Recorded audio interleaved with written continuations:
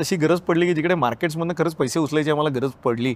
तर मग त्यावेळेस त्याचा विचार करता येणं काही हरकत नाही. तर मला असं वाटतं की काही काळ तरी आम्ही अजून त्याचा काही विचार करणार नाही. उलट आमची फायनान्शियल डिसिप्लिन इम्प्रूव्ह करून बॅलन्स शीट स्ट्रॉंग करू अजून. सो हे सगळं करताना फायनान्स बिकम्स व्हेरी क्रुशल आणि आय थिंक ते हार्वर्डमध्ये शिकल्यानंतर थोडं फायनान्सवरचं ऑप्सेशन वाढतं तुमचं. तसं ते मी तेवढं बघतो जास्त असं वाटत नाही की चितळे बंधूंचं पण एकदा व्हॅल्युएशन करून पाहायला पाहिजे. आय पी ओ वगैरे काहीतरी यायला पाहिजे. असं काही आहे डोक्यामध्ये?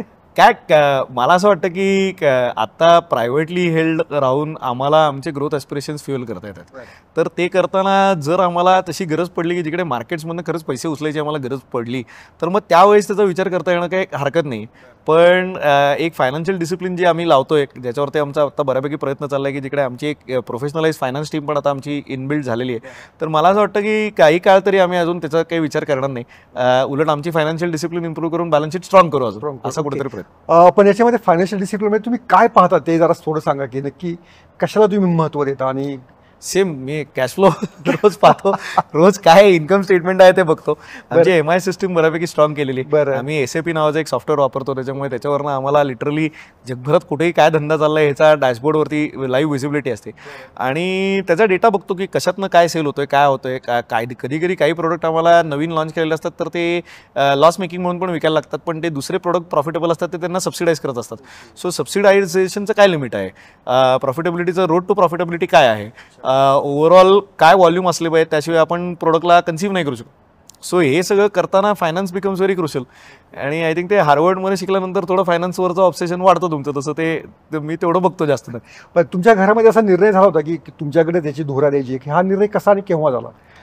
नाही ॲक्च्युली काय आहे ना की अजूनही फॅमिली लेवलला जर का बघायला गेलं तर आमची जी फॅमिली सगळे मेंबर्स आहेत की जे ह्याच्यात भागीदार आहेत म्हणजे शेअर होल्डर्स आहेत सगळे तर आम्ही सगळेजण अजूनही नियमितदृष्ट्या आठवड्यात महिन्यातनं दोनदा भेटतो. आम्ही सगळ्या कंपनीबद्दल बोलतो. सगळ्या कंपनीजचं एकमेकांचं काय चाललं आहे हेही बघतो. प्रत्येकाची बॅलन्स शीट त्यांची स्ट्रेंथ त्यांचे ग्रोथ ॲम्बिशन्स कसे काय चालले हे सगळं बघतो. आम्ही टार्गेट सेटिंग वर्षाच्या फायनान्शियल इयर त्यांच्या आधीच क- करून ठेवतो की पुढच्या वर्षी काय करणं अपेक्षित आहे की ज्याच्यात मी क्वार्टर वनला काय करीन क्वार्टर टूला काय करीन. आणि या सगळ्या दृष्टीने सगळ्यांची इन्व्हॉल्वमेंट असते. अं, फक्त ते करायला एक्झिक्युशन म्हणून कोणतं लागतं तर त्याच्यात जास्तीत जास्त एक्झिक्युशन हे तुमच्याकडे द्यायचा हा निर्णय केव्हा झाला? म्हणजे कसा झाला? थिंक सतरा सालापासून जास्त क्षमता माझ्याकडे त्याची आली आणि बरं. माझ्यामध्ये कोविडच्या काळात ते ऑटोमॅटिकली झालं कारण की जी आधीची पिढी होती ती सिक्स्टी प्लस असल्यामुळे सगळ्यांना कंपल्सरी घरी बसायला लागलं. आणि ते झाल्यामुळे त्याच्यात आम्ही धंदा बुडवला नाही या कॉन्फिडन्समध्ये जास्त जबाबदारी दिली गेली असं. असं मी म्हणेन. पण म्हणजे तुझ्या वडिलांचा तुम्ही किस्सा सांगितला होता की जेव्हा तुमच्याकडे सुरुवातीला जबाबदारी दिली तेव्हा निर्णय तू काय थेट घेऊ नकोस आधी हो. माझ्याशी डिस्कस कर. तर ते काय ते नक्की त्याच्या पाठीमागचं लॉजिक काय होतं? ते काय त्यांचं ऑब्झर्वेशन असं होतं की बेसिकली कदाचित माझ्याकरता स्पेसिफिक असेल की एकतर मी खूप प्रश्न विचारतो. आणि ते प्रश्न समोरच्याला कायम आवडतीलच किंवा नाही आवडतील ह्याची काही गॅरंटी नसेल. आणि ते तेव्हा मला कळलं नाही पण त्याचं लॉजिक आय गेस मी असं म्हणेन की मी नवीन नवीन आलो आहे आणि एक सिस्टीम त्याच्या आधी साठ सत्तर वर्ष चालू आहे.